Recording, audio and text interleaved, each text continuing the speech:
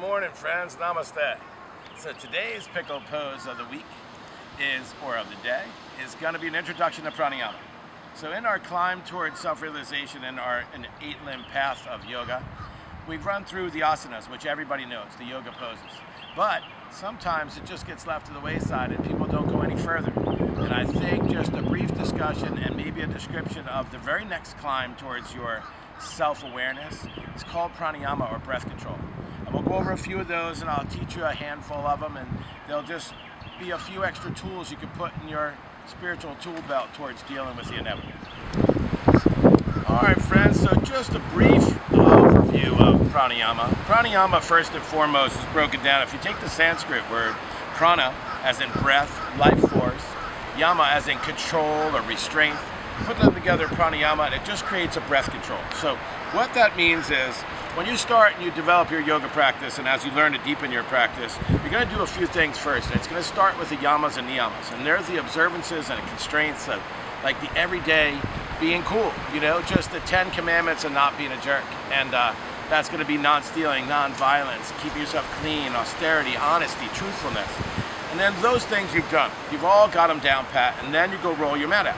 And then you practice the asana practice. And us in Western cultures always always, always, always focus so much on the physical part, which is the asana practice of yoga, and we call that yoga, but yoga is way more. Then the very next rung towards your climb in your somatic journey, and samadhi being self-awareness and bliss, self-realization, you know, that, that very apex of that eight-limb path in your yogic journey is pranayama, breath control.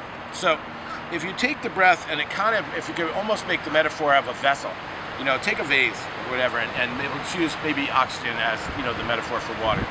Is it puraka? Is the pouring, and that's the inhalation, the filling of the ribs with prana and life force and breath. Then there's the kumbhaka, and I always make some kind of reference to the third eye here because I feel like it's at the top of the breath. That's a general retention of the breath. It's just a pause, and then rechaka. So that part is just that exhalation, the pouring out of that vessel. So you know what's going on now. You got the elements of the breath. We're going to just talk about some of the benefits. So right now in our Corona COVID chapter, there's tons of stressors, anxiety, all kinds of shit that makes you crazy, you know? And uh, there's so much environmental pressure that we need more tools.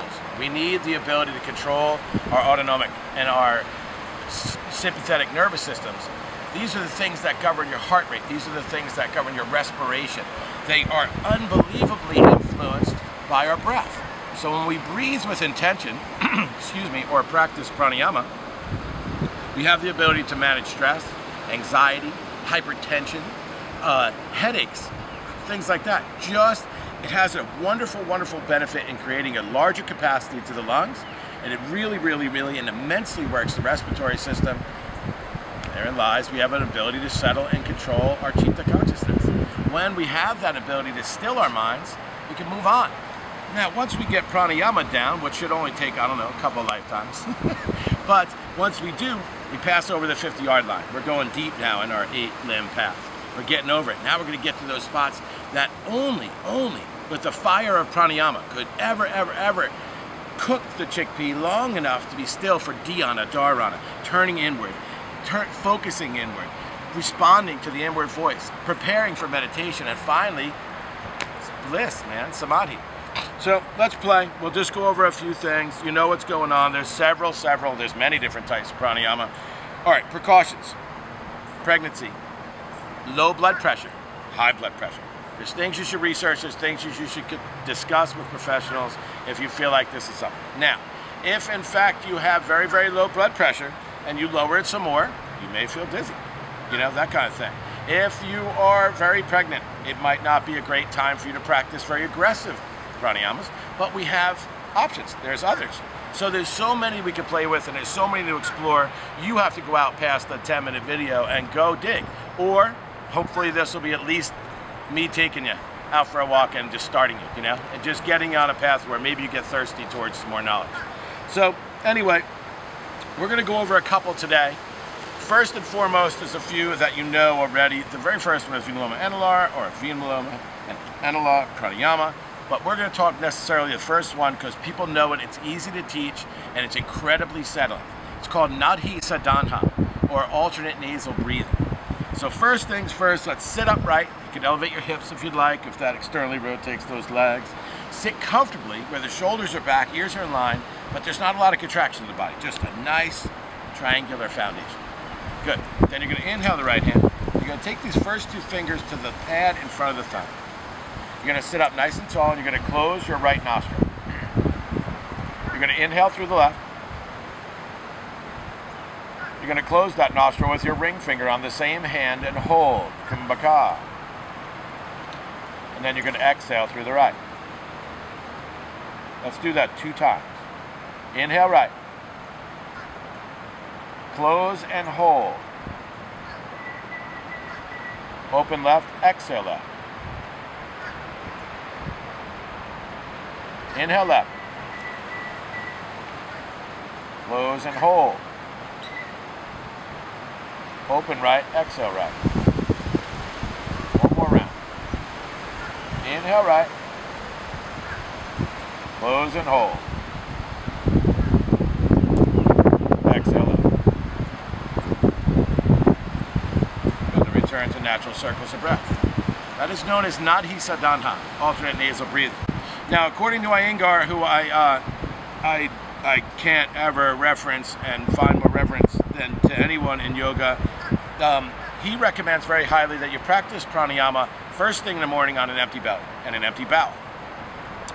If in fact that works for you, that's fine. But if in fact it does not work for you, it's still better to do it some other time than it is to do it not at all. So let's do that here.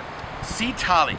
Now, as we're coming into the summer season now, and you might be practicing more outside or on the beach, or you practice, you know, warm levels of yoga or whatever, another breath that you could bring in, and it's very, very beneficial to hot yoga as well, is to go ahead, and it's called Sitali. It's a curling of the tongue. Now, we have a we have an obstacle here. With the, one of the, the challenges of Sitali Pranayama is the rolling of the tongue. Some people genetically cannot do this. Looks like this. So silly as that looks, if you can't do that, you can roll it backward and you can draw through the teeth. But Sitali Pranayama, one of the benefits is, and one of the, the very first and prominent physical effects is a cooling effect. It chills your ass down. It cools your body quite literally. And as you draw a breath across it through the tongue, air cools, systematically the inside of the body cools, externally cools, you settle. So Sitali Pranayama will practice. Sit up nice and tall.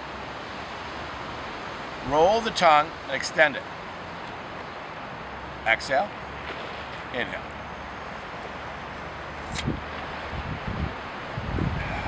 And then exhale. So you're to draw a breath in, suck the tongue in, close the mouth, and exhale naturally. Ready? Let's do it again.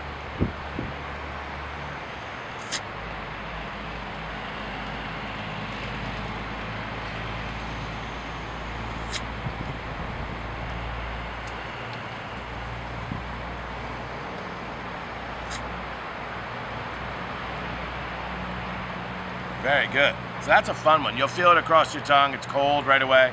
Even when the air is hot, it still comes across the tongue cold. Has a cooling effect. It has a calming effect. It's nice. It's a good one. All right.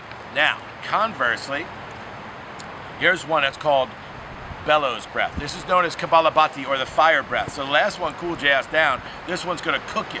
So you got to boil the chickpea, as Michael Ruji Han Howard taught me. Boiling, boiling, boiling. We season, we season, we season. So here we go. Kapalabhati is a constant exhalation and a bellowing of the breath. Right hand on the heart, left hand on the belly. You can trace both hands here. It doesn't matter to me. But it's not very easy. If in fact you shoot a booger at this, it's okay. No one's going to judge. So you have to sit up nice and tall.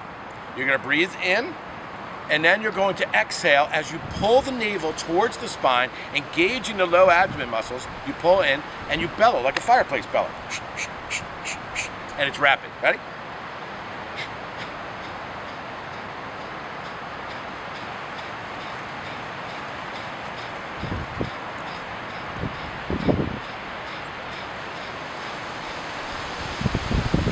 You're going to continue to do that for. And you're going to learn to develop those muscles more and more and more. It is an excellent exercise for the low abdomen.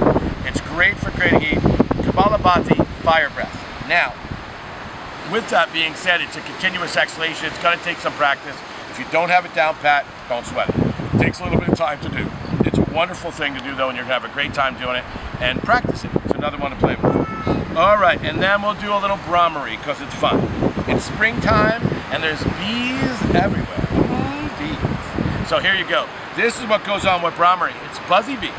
So you're gonna take the hands and you're gonna cover the eyes. You can place them above, one over, maybe to the eyebrow, second one to here, third one to, oh, excuse me, you can place your middle finger to the edges of your nose, then the third one to the corners of your mouth. So what we're gonna do is close the eyes, nose, mouth, and we're gonna take the thumbs onto that little niblet here. What do they call this again? Something. And you're gonna close it. And when you go through it, you're gonna close the ears and you're gonna hear it. Now, you're gonna wanna practice this at home, so I'm glad we're doing this video because in class, if I ask you to do it, you're gonna be freakishly embarrassed and you're not gonna wanna make the noise and your ears are closed, so you try to do it too quiet, that's bullshit. You gotta be honest in your practice, so this is what we're gonna do. Closing the eyes and nose and then the ears, we're gonna buzz like a bee. So when you close these faculties, you're gonna breathe in, and then you're going to say Om, and it's going to create this wonderful, that 432, those hertz, the, that, that vibration in the body, but it sounds like a bee and you have to do it outwardly loud. Let's practice.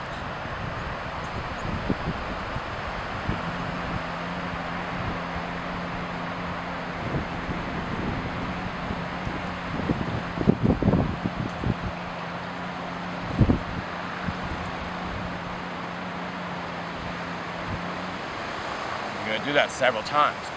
So now, with the closing of the ears, the vibration in your head is enormous. It's this wonderful, wonderful vibration, and it massages the brains, man. It just settles the soul. It's such an energizing thing. Bhramari Pranayama is just straight fun. Straight fun. It's the party of the pranayama, you know. Have a good time doing it. Create this vibration in your head. Let it rattle you around in your brains, and then it'll settle the sympathetic nervous system. It'll energize the brain. It's going to bring a ton of oxygenated blood up there, and you're going to have more conscious control. So that's it today, my friends. That was the pose of the day, the pose of the week, the pickles little tidbit.